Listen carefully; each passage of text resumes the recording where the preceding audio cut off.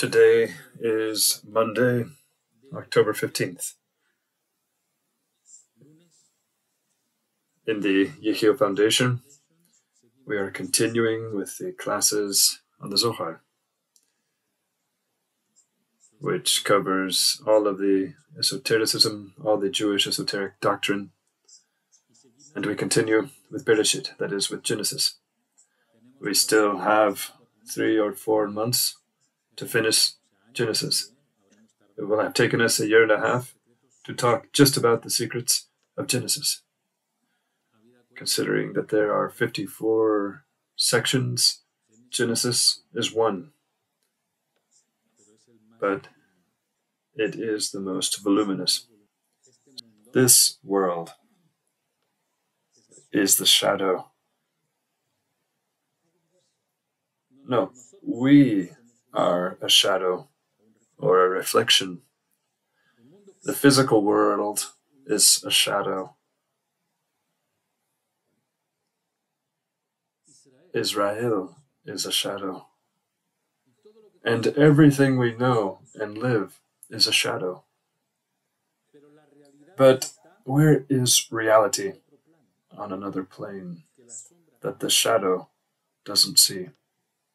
You since you're on both planes, you can see the hand and the shadow, but the shadow does not see the hand, but the shadow follows the movement of the hand. So let's say I want to put a key into my hand. Where should I put it? Should I put it here?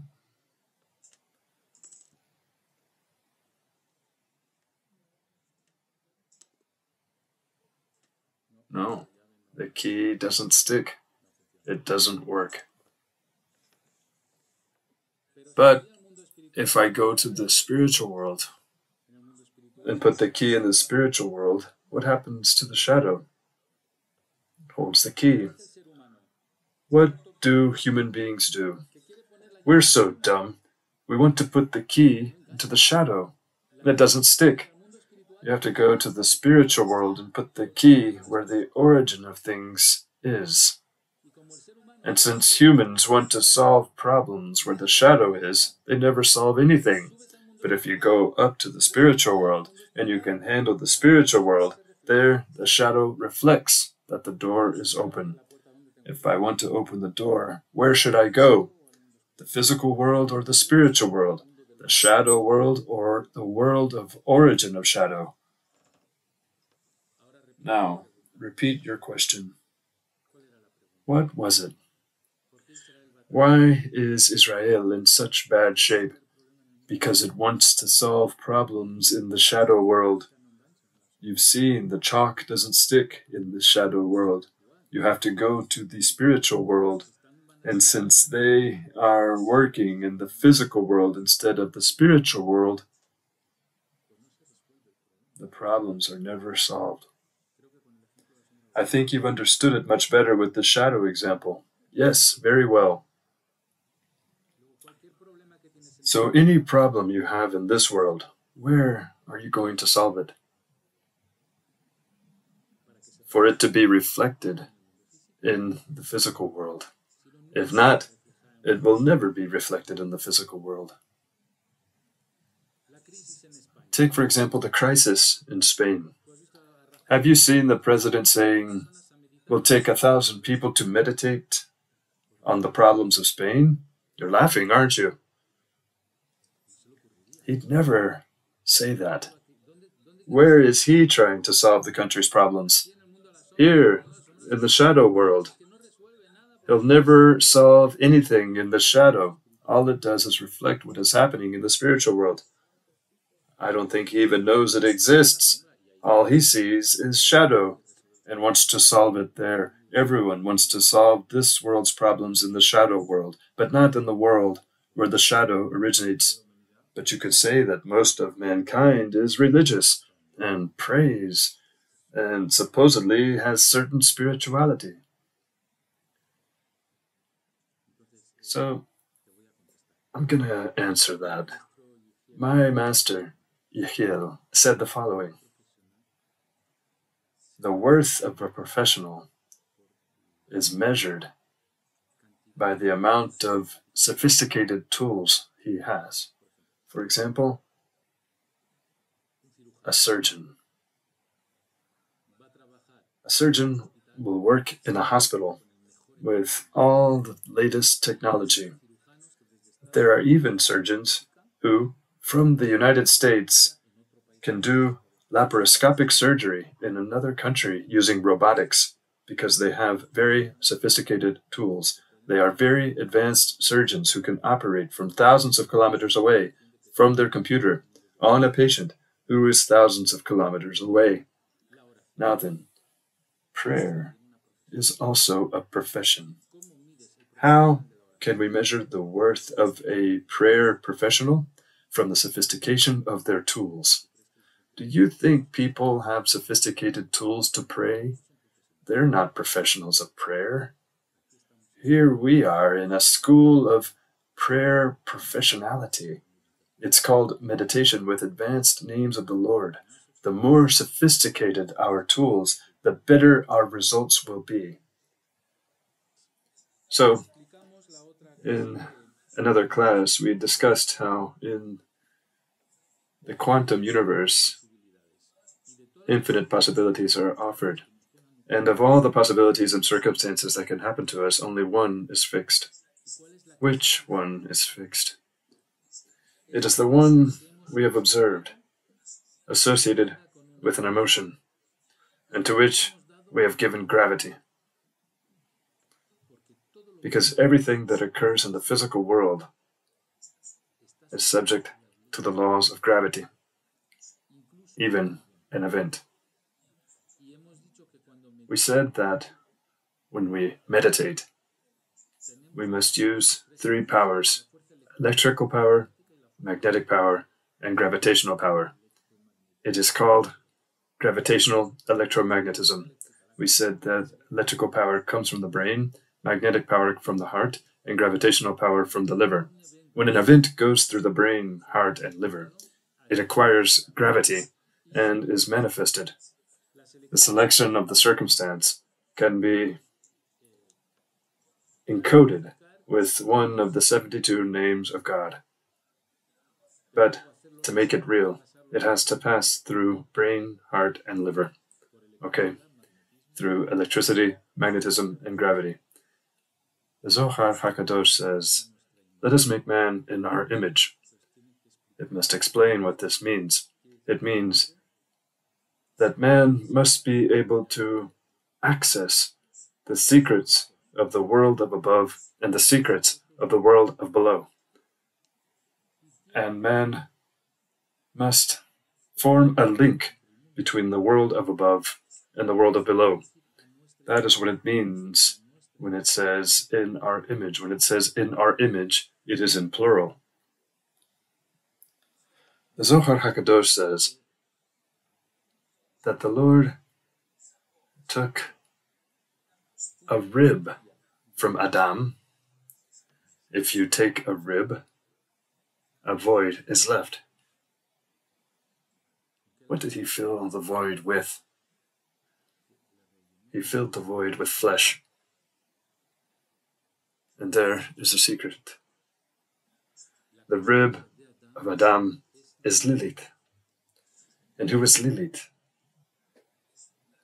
Lilith is the she demon, a demon, a spiritual energy that brings chaos to the world. How? How? She generates illusions, ghoulish illusions. That is the rib that the Lord took.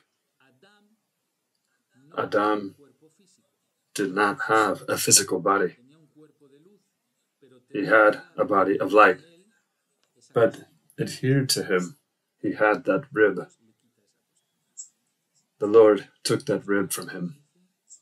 The Zohar HaKadosh says that he put in its place flesh. Why? Because flesh gives pleasure. What is flesh? The physical body. The physical body gives pleasures. Why did God replace the rib with physical pleasure?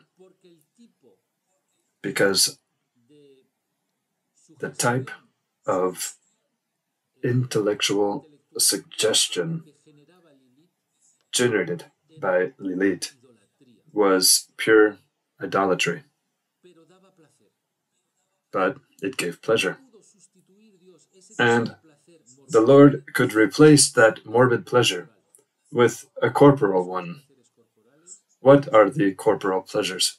We already know them, mainly eating and conjugal relations.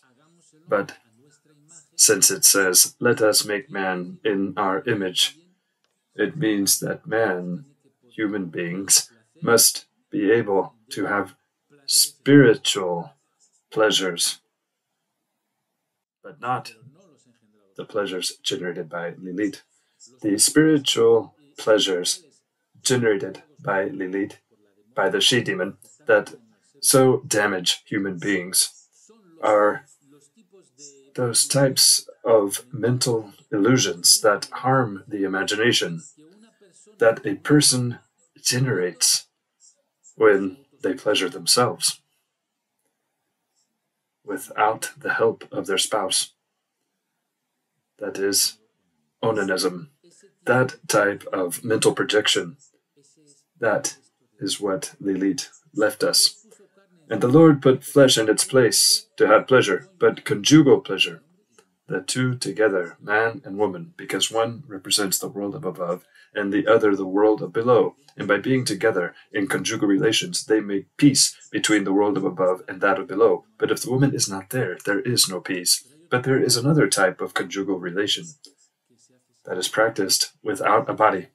That type of relation done without a body is the bride, which is our soul, with the groom, which is the soul of the Lord. There is another conjugal relation. What is that new conjugal relation like? It generates pleasure, as follows. According to Rabbi Moshe Chaim Luzzatto, a prominent Kabbalist in his book Derech Hashem, The Way of God, says the following He will acquire perfection over his perfection according to his effort, all the more so if he toils to understand their secrets and mysteries. For any matter that he understands will establish and achieve one of the highest levels of distinction and true perfection in his soul. Who is the perfect man? He who toils to understand the secrets of the Zohar. He is called perfect. Then something occurs. The Lord gives you a gift when you do that. What is the compensation for that gift? He has the power to correct the souls of others. What a great pleasure! That is the gift given by the Lord. He who toils to understand the secrets of the Zohar, of the Torah, the Lord gives him the power to correct the souls of others. Is there any greater power or satisfaction? No, there is not. And that is why it says, Let us create man in our image. Why? Because he will have access to the light of above, which is this one and will have access to the pleasures of below, conjugal relations. He has both pleasures, that of the soul and that of the body. And that excludes any demoniac adherence in their person. Because it is not possible for a negative energy to adhere to a person who is toiling to understand the secrets of the Torah.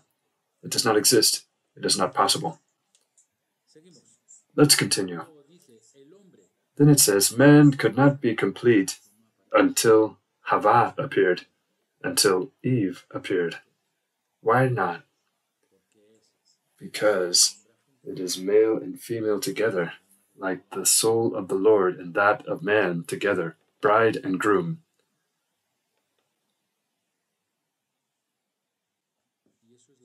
And that is the image of the union of the heavens with the earth. What is the symbol of the union of heaven and earth? Rain. Why? Because rain fertilizes the earth, which gives forth its fruit. Now then, here there is a very delicate concept, and I need you to attune your intelligence to understand what I am about to say. You must be very intelligent to understand what I am about to say. Very intelligent. First, water evaporates. Then clouds are formed, which then water the earth.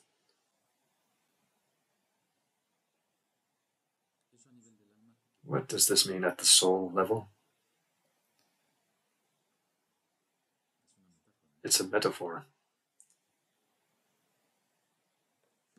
First, the water evaporates, then clouds are formed, which then water the earth. This is what happens in the physical world, but we are made in the image of the Lord, that is, the world of above and that of below. I've told you how rain works. What does this mean for the soul? Let's see what these brilliant intelligences say. The conveyance of the secrets of the Torah from a master to a student, who will then convey them to others.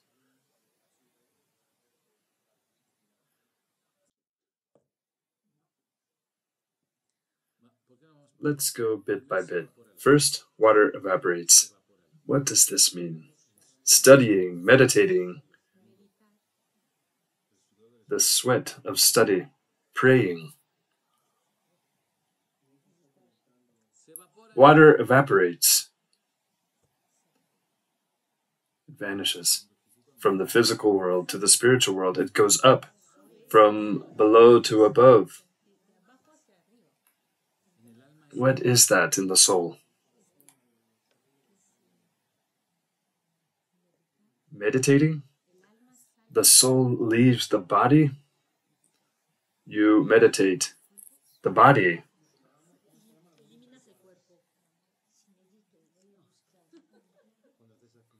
you eliminate the body. When I meditate, when you have affinity with the shiur, you rise. When you visualize the letters,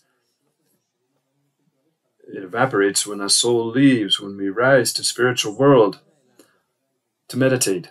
The water evaporates like a vacuum. The Torah. First, the water evaporates. Should I give you a hint? First, there must be an initiative.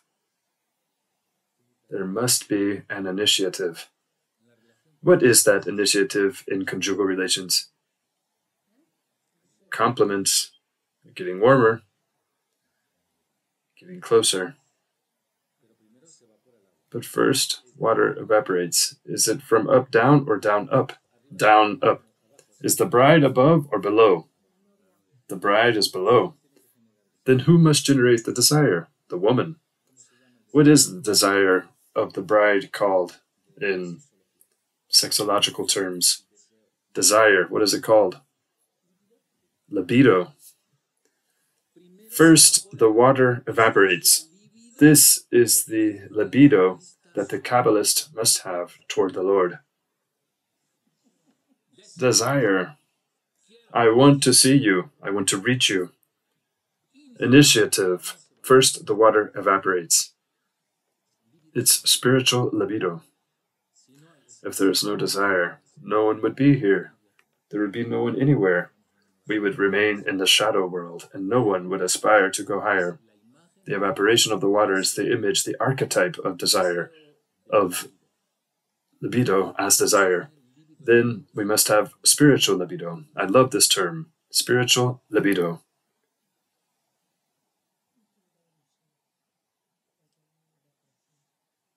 What happens when spiritual libido is generated after the water evaporates? Clouds are formed. What is the cloud? The cloud is no longer on the ground. The cloud is not below. It is in the spiritual world. What does it do? It settles there. It settles. There is a union. It settles above and below. It is half water, half air, half above, half below, because water goes down and air goes up. Half is up, half is down. That is why it's floating. There is union between air and water. Once desire has been generated and there's been union, what happens then? Rain comes down.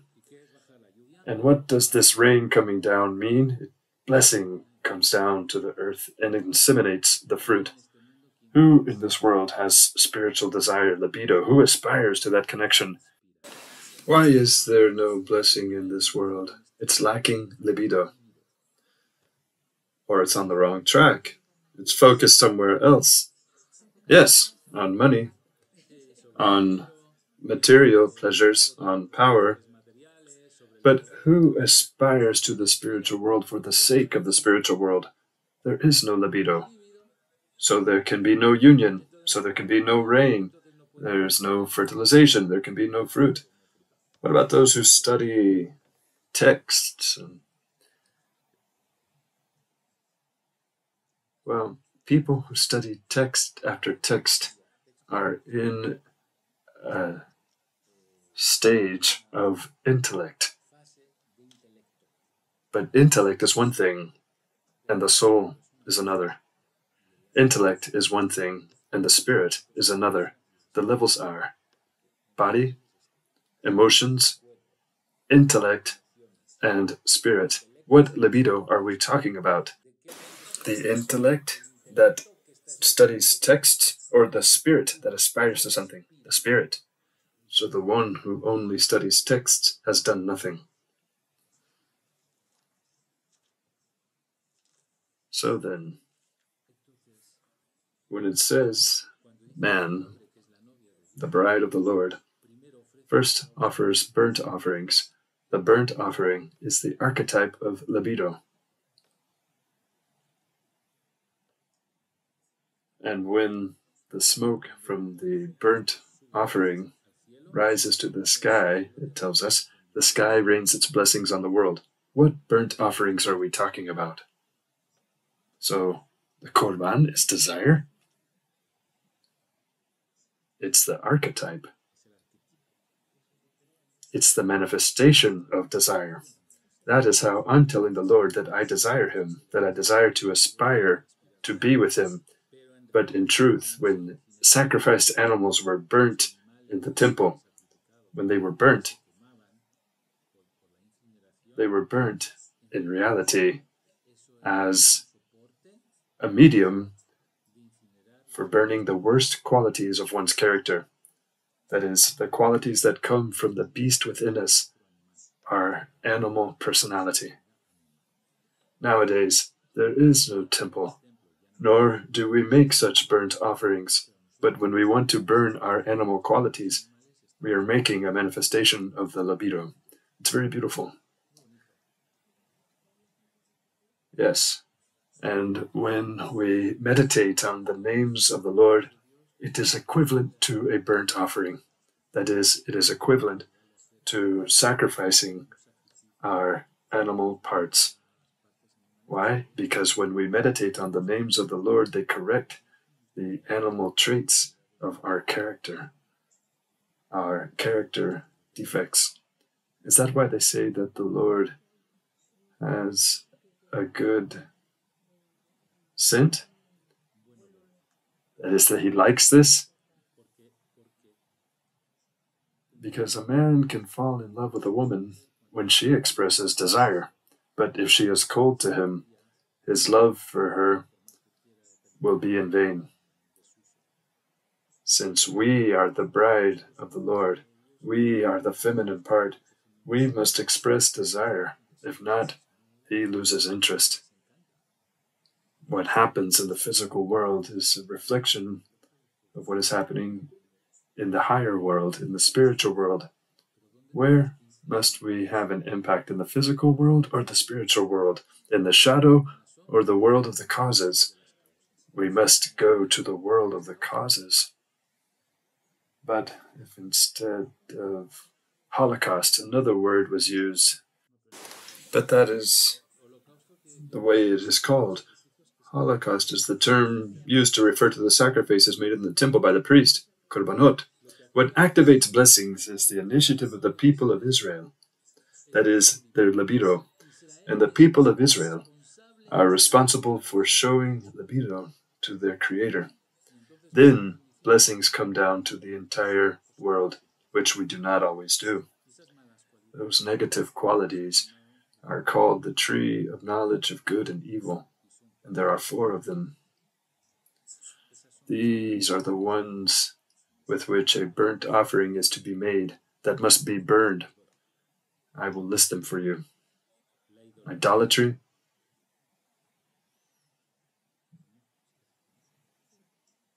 murder, incest, and adultery. That is the animal that must be sacrificed. Our animal, our idolatry, our murder, our incest, and our adultery. And when we say murder, it does not mean to take a knife and kill a person. Speaking derisively about someone is a form of murder. What happened, according to Bereshit, the Zohar, when they ate from the fruit of the tree of knowledge of good and evil. That is when they acquired those four evil qualities idolatry, murder, incest, and adultery. That halo, that shining halo of blessing was lost, and then they found themselves naked. They saw that they were naked because that halo of blessing that they had, of spiritual connection, vanished. And then they dressed themselves with fig leaves. And the Zohar says, What are fig leaves? The demoniacal forces, negative forces that adhered to them. Because once the shield of spirituality was lost, those forces of negativity came and adhered to them they saw themselves naked. They lost the halo of protection, the immune system of the soul, and they dress themselves in fig leaves, which represent the demoniacal forces that adhere to the person and generate so much pain in them. And that lasted until the people of Israel, from Adam until the people of Israel reached Mount Sinai. What does that mean?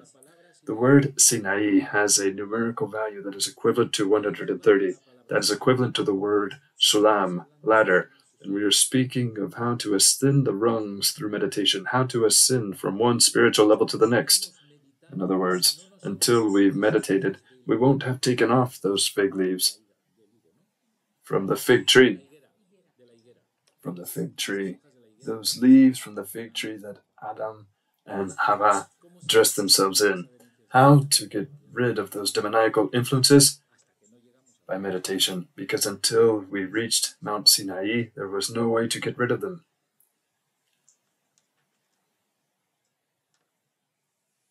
That is why it was said that they had clothing of light before, and then clothing of the body. From the light, they were called or, and those of the body, flesh, or, with ain.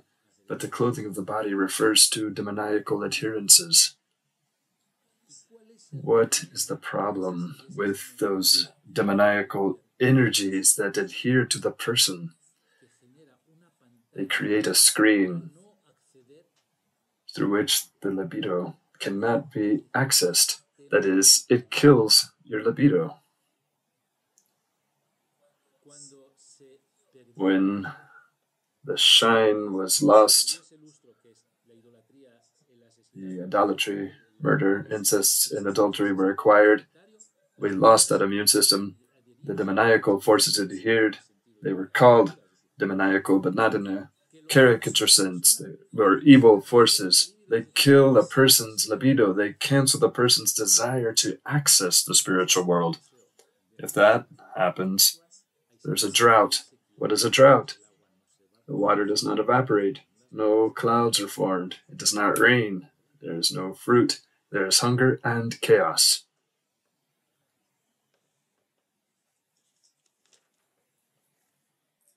The metaphors of the Zohar are amazing, simply amazing. When you say there is no vapor, no libido, why that happens, we have lost that conventional form from the time of Adam because you don't meditate. The demon takes it from you. But we can't have that libido because we lost it back then. So we don't even know that it exists our nature lost it. In the time of the temples, when we had the priests who made the sacrifices, they provided the intention for those sacrifices to symbolize a regeneration of libido. When we lost the temple, we no longer had that. And we lost two temples that of King Solomon and that of Ezra. We lost both of them. We have to regenerate libido. How? Through meditation. Because meditation is equivalent to the burnt sacrifices that were made back then, the korbanot, the sacrifices. This example that you've given with the clouds and the water and all that, does it come from the Zohar? Is it written in the Zohar? This example of clouds, and I've taken it from the text, page 227 of the Zohar. I can give you the exact scroll reference. No, I just wanted to see if nothing has been made up here. The difference is I explain it to you. If you read it, you may not be able to get the entire essence, but it's there. It's written in a way that, if you're not a Kabbalist, you may read it and say, This is complicated, but I've given it to you in a simpler way. It's as if I could give you an apple, or I could give you apple juice. It's easier to just have an apple juice. I've given it to you in the juice form. It's already been through the juice maker. One thing that a student said earlier is that for there to be evaporation, there has to be heat, there has to be sun, there has to be a source of heat for there to be evaporation. So, what is that? That is the Lord, He who calls us. But what is it? The initial heat? Is that the libido too? You need two things. First, you need there to be water. There must be water and heat, and there must be sun. Water is the emotion, and heat is spirituality. So, if I show you how to have spirituality and how to have emotions, the water evaporates. What about the dew? Dew is the descent in the morning. It is the descent. Dew is already here on the earth. It is equivalent to rain it is equivalent to rain. And the Zohar tells us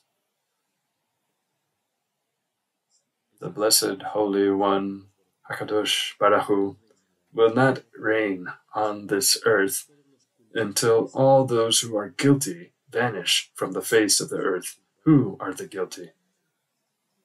Those who do not meditate and have no desire, those who have no libido those who only enjoy the pleasures of below and do not have libido and therefore cannot enjoy the pleasures of above, but they don't realize that the pleasures of below, to enjoy them, there has to be an order of blessing for you to have that pleasure. Excuse me. It's not a pleasure. The pleasure you have without libido is passing. It's not maintained. It's like a drug effect. It's immediate, but not associated with spirituality. It decomposes. It's like meat and milk. Let's say that milk is spirituality and meat is materiality. If you leave meat out, it spoils, but milk transforms. Milk transforms into butter, then to cheese, then to a harder cheese. It's always healthy. But meat, once it is spoiled, is not healthy. anything that is a material desire associated with spirituality does not spoil. Material desire that is not associated with spirituality does spoil. You see that? Think of milk and think of meat. One gives life, the other death, and it leaves you empty later. The other one doesn't, it leaves you empty. So, we've spoken about he who toils to unravel the secrets of the heavens. But even to unravel these secrets, it's necessary for the Lord to want to reveal it to you. Because if the Lord doesn't want you to see something, you won't. And there we have another problem. We've always been told that wanting to see it makes it exist. Yes, but who taught you to see? Who taught you to observe correctly? And it tells us the mysteries of our Creator will only be revealed to those who fear Him. But what does it mean to fear? What is fear of God? He who is amazed before the revelation of a secret, that jaw dropping amazement, that pleasure of the person amazed before the secrets of God is said to fear God. And the prophet who expressed that type of fear was Hanoch, Enosh. Henoch was called Na'ar, which means adolescent. Why did they call him adolescent? Because an adolescent, like a child who has begun to grow, is surprised by everything. Their first kiss, oh. An older person has had two or three thousand kisses. They can't be excited by them. But a first kiss, for an adolescent, is different. He who is before the secrets of the Lord like an adolescent who has had their first kiss in ecstasy, total enthusiasm. That is why Enoch is called adolescent. And he learned the supreme wisdom, and the Lord took him from this world for his service. He reached levels in which he ascended. He reached spiritual levels from which he became a servant of the Lord. So we'll stop here. We'll take a break and then do the meditation. I went to the mikveh right before coming here this evening, and I was meditating for an hour. And I asked Hakadosh Baruch Hu what meditations we could do here. And after a great deal of spiritual work, an inspiration came to me. I'll tell you what it was. We must make peace between the world and the Lord. We must make peace.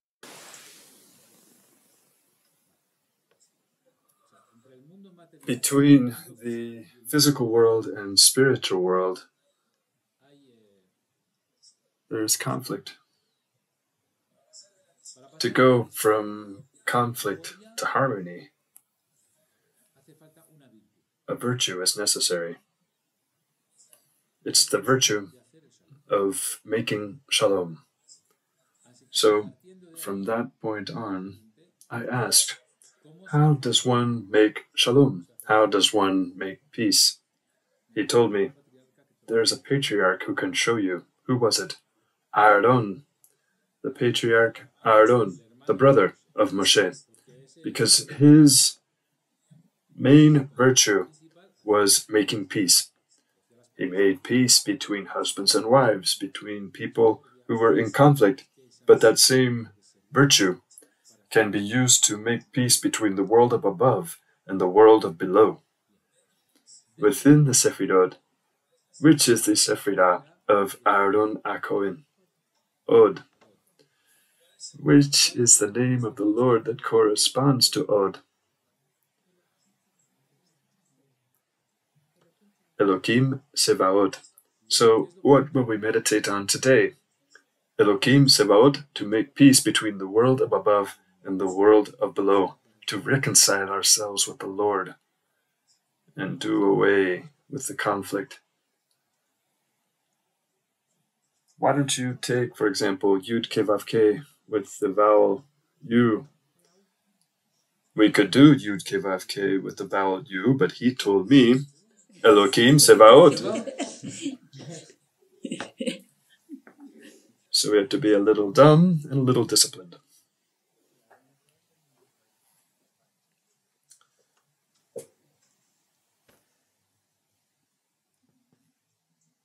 This is the name of the Lord of the Sephirah Od of the patriarch Aaron HaKohen, the first priest of the temple of King Solomon, whose main virtue was making peace among the people.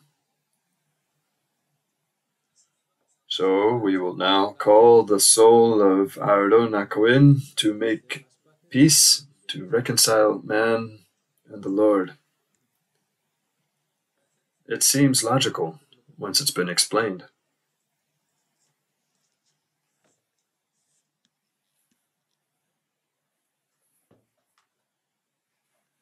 Are you ready?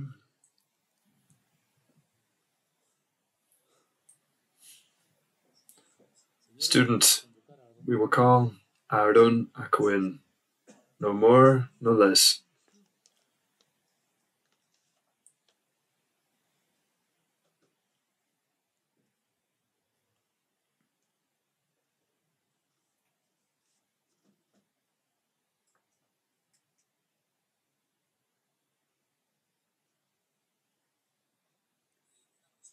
I want to tell you one thing. Once we've called him, he will do work that we will see. The beautiful thing about this meditation is for each person to describe what they've seen, what Aaron HaKohen has done to reconcile man and the Lord. Now, let's put our hands, palms up on our knees.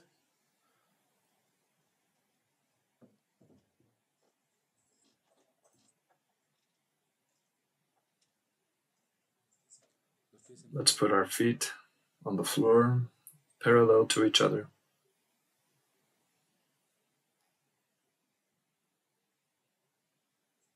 We take three deep breaths.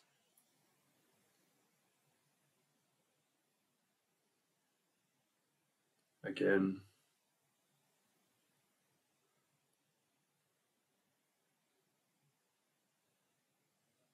Now we will take the golden thread and connect our hearts in counterclockwise motion. And we say the word Echad five times.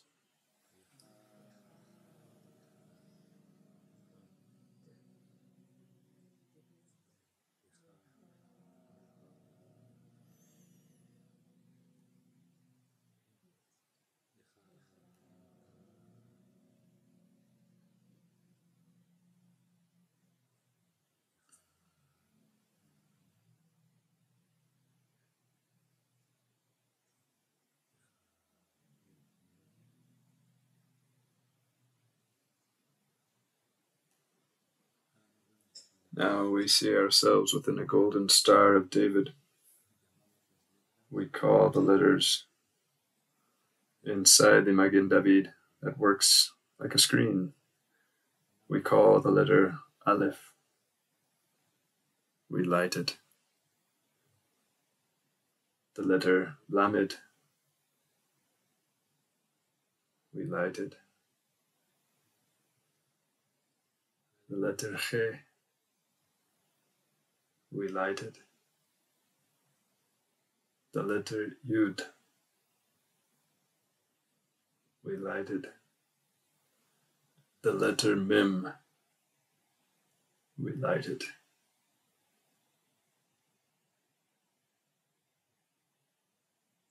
we now have Elohim. Now the letter Tzadi. We lighted the letter Bet we light it. The letter Aleph, we light it. The letter Vav, we light it. And the letter Taf, we light it. Now we have Tsebaot. Now we unite all these flames into a single central flame that will burn out of the tip of the star of David that works as a screen and is attracted by the tip of the star of David where we are. That light penetrates our star of David, goes down, lights up our skull, lights up our brains. It goes down to the heart and lights up the heart. It goes down to the liver and lights up the liver. It ascends to the heart, lights up the heart. It ascends to the brain, lights up the brain. It descends to the heart. It ascends to the brain. Heart, brain, heart, brain, heart, brain, heart, brain, heart, brain, heart, brain. The flame goes out through our skull. It generates a cloud, and snowflakes of energy fall all around us, drawing toward them the energy of shalom. Now we form a chorus. We put the earth in the middle. We project the light we have inside us toward the earth, wrapping it in a mantle of silvery gray light.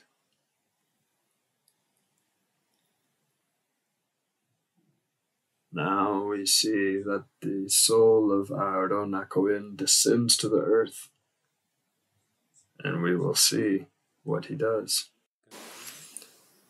Each of us will meditate freely on what they observe, on what Aaron HaKohen is going to do in this world.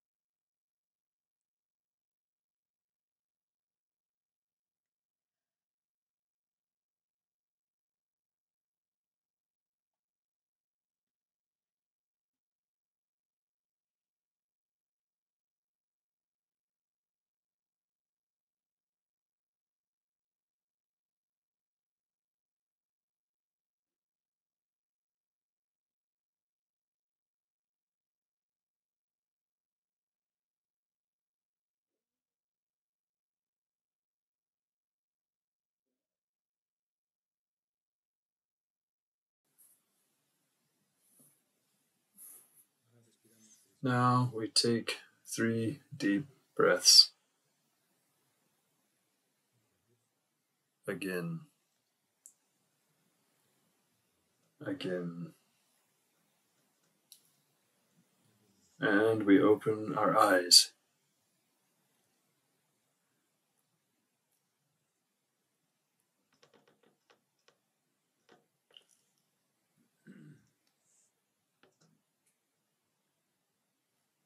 Well, he simply came to see me and told me reconciliation will never be possible between humans and the Lord if the secrets of the Torah are not studied.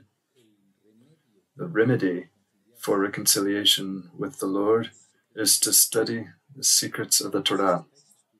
And since you're studying it, I will make each of the secrets revealed in this and other classes into an angel of reconciliation, and I will give them power. And they began to come out, one, two, three. And he said, I'll give them power now. And it was like a fireworks show of rockets going up from the ground, going into the sky, angels of reconciliation of the secrets we discover here, like an amazing fireworks display. It's another way of seeing it. Well, that's it. We will conclude today's class here. It's already 11 p.m., so it's time, isn't it?